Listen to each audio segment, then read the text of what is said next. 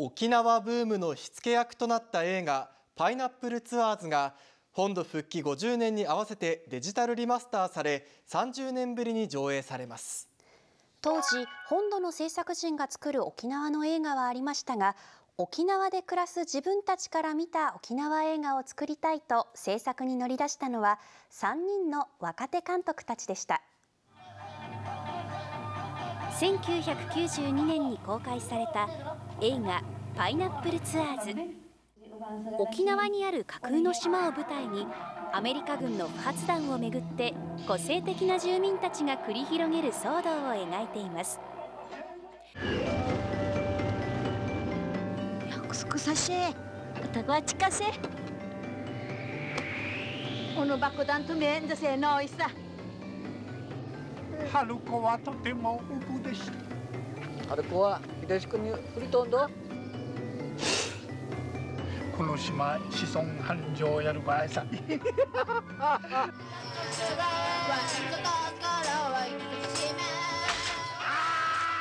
っさも探してるわけさ。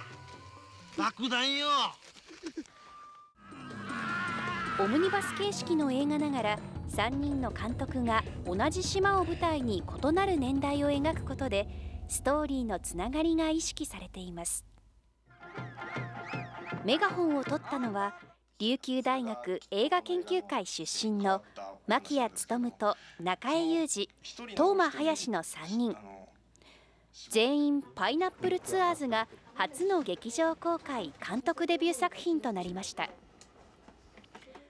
沖縄アーカイブのコーナーでおなじみ牧谷勉さんは撮影当時25歳でした。今まで作られてきた沖縄映画っていうのが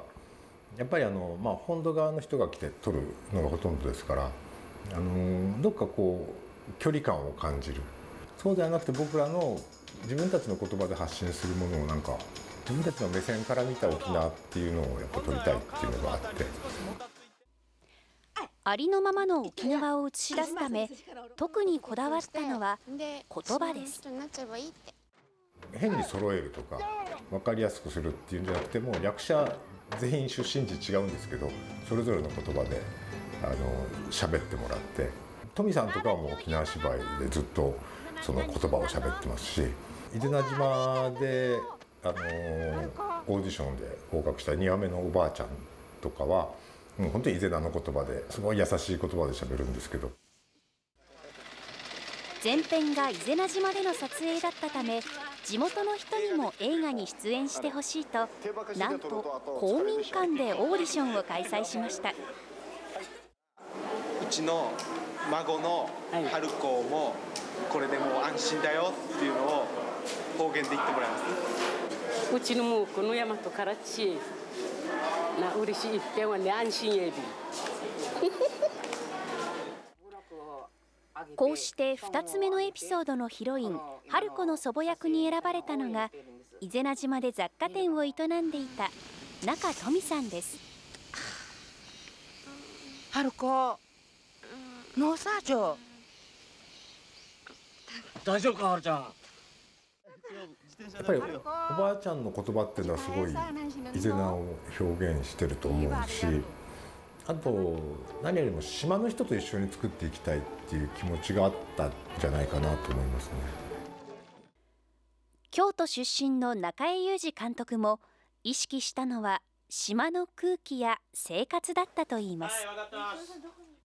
僕らはあの沖縄っていうところに生活があると思っていたのでしかもその生活は面白いと本土と違って面白い生活があるのでその生活感を出していこうと。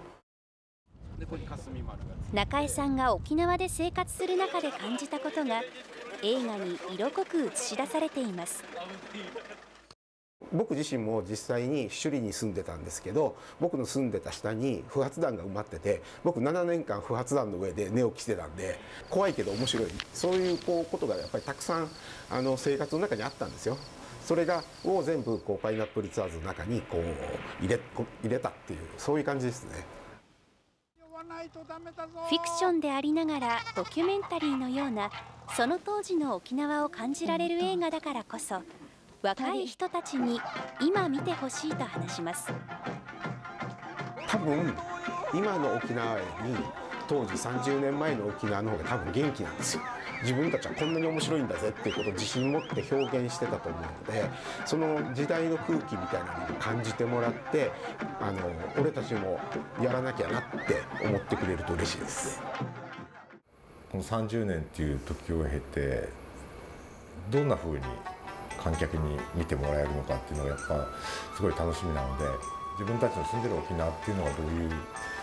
ふうに変わったかとか変わってない部分は何だっていうのをちょっと見てもらいたいなと思います30年前の沖縄で若き監督たちが生み出した映画「パイナップルツアーズ」は明日スクリーンでよみがえります。うん、今回の上映にあたってデジタルリマスターされたことで色彩も鮮やかによみがえっているそうです。当時ご覧になった方も改めて楽しんでもらえると思います。